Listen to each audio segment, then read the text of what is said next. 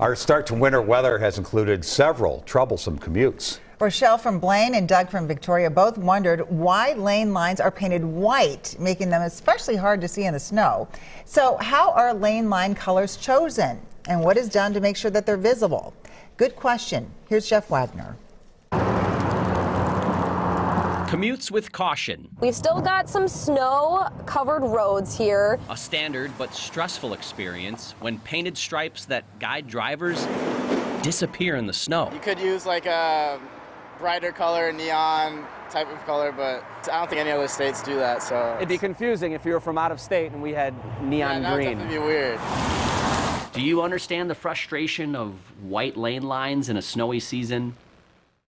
Absolutely. Absolutely. Ethan Peterson is MnDOT's pavement marking engineer. Why are the lane lines usually yellow or white?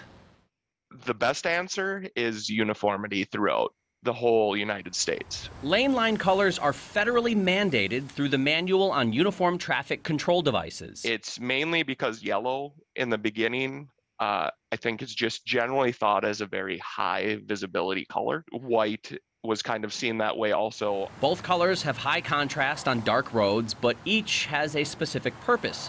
White separates lanes moving in the same direction and shows the right edge of the road. Yellow separates lanes moving in the opposite direction, like the middle line of a two way highway, and shows the left edge of the road.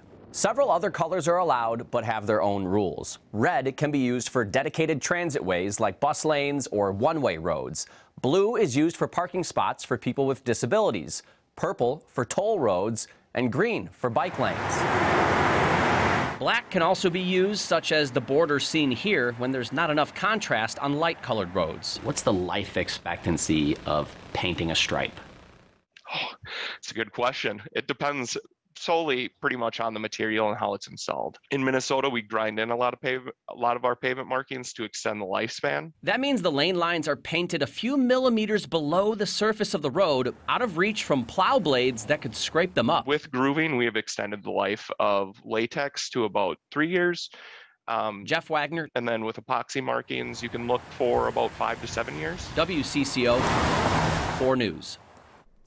Uh, the paint used for the lane lines has retro-reflective beads in it. It's like a metallic dust that helps the paint reflect better uh, under headlights, even when the roads are wet. If you have a good question for Jeff, you can email him through wcco.com/links.